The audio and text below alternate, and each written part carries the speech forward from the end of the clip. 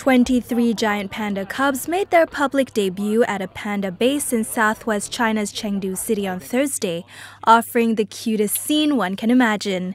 The baby pandas, aged 1 to 4 months, were all born at the Chengdu Research Base of Giant Panda Breeding this year.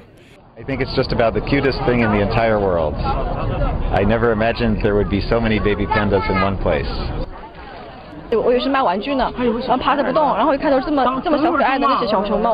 This year, experts from the base also witnessed the birth of another four pandas overseas, raising the total number of the base's newborn pandas to 27, a rare record since the establishment of the base. Experts attribute this to the improvement in breeding technology. 通过大熊猫的行为来观察它，觉得行为到达了一定的程度，那我们就配种。通过那个内分泌和那个行为结合起来，那我们配种的时间基本上是抓得很准。